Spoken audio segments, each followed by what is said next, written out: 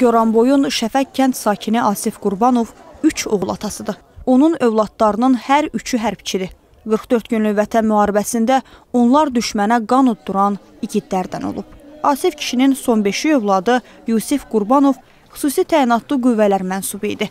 O, 44 gün davam edən müharibədə bir neçə dəfə yaralansa da, yenidən hərbçi dostlarının yanına qayıdır.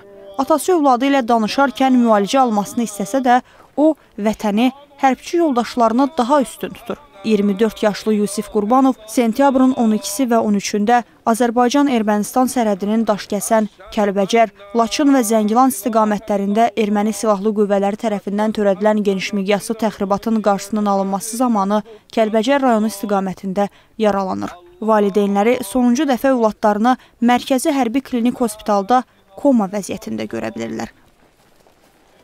Ən sonuncu balam idi. Dədəmin də adını qoymuşdum. Şu da hərbiçidir. O birilər evli idi.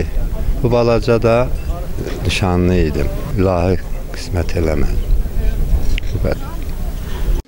Şəhidlik zirvəsinə ucalan Yusif Qurbanov doğma kəndi Şəfəqdə dəfn edilib. Dəfn mərasimində rayonun rəhbər şəxsləri, şəhid ailələri, qazilər, hərbçilər, kənd sakinləri iştirak edib. Onun tabutu üzərindəki bayraq atasına təqdim edilib. Qeyd edək ki, Qurbanov Yusif Asif oğlu vətən müharibəsində göstərdiyi xidmətlərə görə cəsur döyüşçü, Cəbrailin azad olunmasına görə və Füzulinin azad olunmasına görə medalları ilə təltif olunmuşdu. Allah rəhmət Thank you.